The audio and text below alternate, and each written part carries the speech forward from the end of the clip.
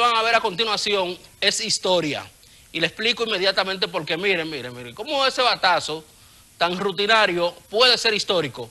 Bueno, con ese batazo, Yadier Molina logra el récord de outs realizado durante toda la historia del juego. 14.865 outs ha hecho Yadier Molina como receptor de los Cardenales de San Luis y le rompe el récord, claro, a otro receptor, porque el catcher tiene que ver con todo. Está envuelto en casi todos los outs y le rompe el récord a su compatriota, por cierto, Iván Poch Rodríguez. Eh, le voy a decir, aunque no tengo la imagen acá, que Rafael Devers conectó honrón hoy, su número